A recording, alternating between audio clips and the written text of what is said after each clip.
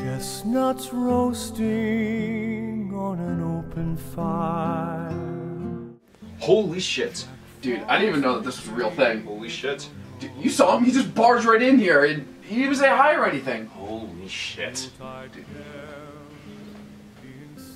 We just killed Santa Claus. Oh my God, I mean, think think about the millions of children who aren't going to get the presents. Think think about the less fortunate. Oh my God. Think of Detroit.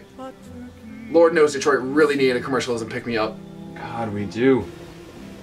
Yep. You just killed a very important and a very real Kris Kringle. What are you gonna do about it? I don't know. I don't. Wait. I. The, we. We killed Santa Claus. This is very much a we thing here, okay? I just suggested you do something with the bottle. If I told you to jump off a bridge, would you do that too? Maybe. You can be very persuasive at times.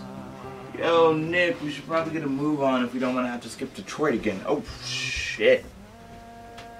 Wow, you actually did it. Shit, okay. Wow, okay. Who are you? An intruder and a witness. Relax, buddy, I'm on your side. No, but who are you? Check the hat, bro. Some drunk mall elf?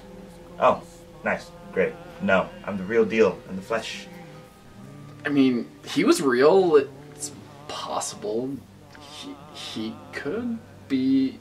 But you don't think I could be. You think I'm phony because I'm not short and white. Fuck you. Are all elves African, uh, Arctic, Elfian? Black? uh, Yeah. Built the workshop in the 60s. 60s? Groovy. No, the 1760s. It was actually really fucked up. But hey, what are you gonna do? It's not like we can leave. why is he so young? I- and beardless?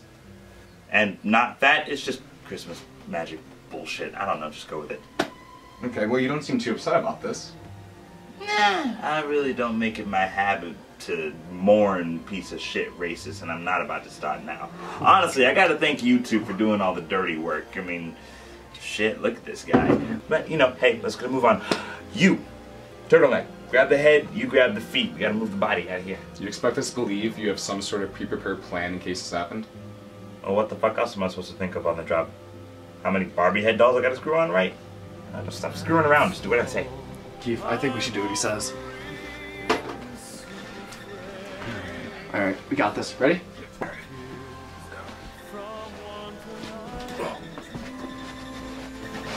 Can't believe I'm getting wrapped up in this shit again. He was heavy. I mean, at least he was thinner and lighter than we thought, right? Toyota 4Runner? Uh, yeah, what were you expecting? Rudolph and the red sleigh? Nobody questions an American SUV. You get in, you get out. That's the work schedule. Wake the fuck up, it's 2013. Really? 7 Eleven? The fuck is this gonna do for us? The guy behind the desk. I know him. He owes me a favor because I hooked him up with a wood chipper for Christmas five years ago. Ironic, right? Yeah, Santa thought it was a terrible idea, but I gave him a couple of eggnogs, and I swear to God, that guy will go for anything. You should ask him about his tattoo. He used to have a tattoo. I'll be right back.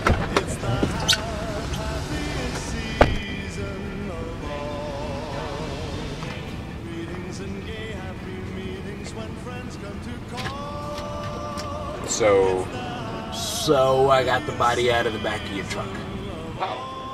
Christmas fucking magic, man. Just go with it. what do we do now? Go back to our normal lives.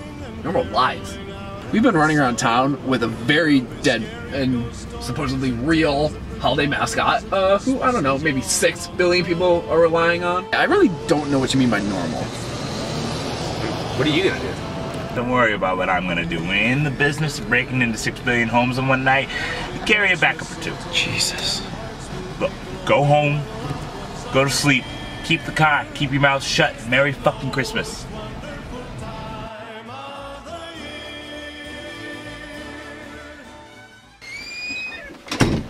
Keith, that was really messed up.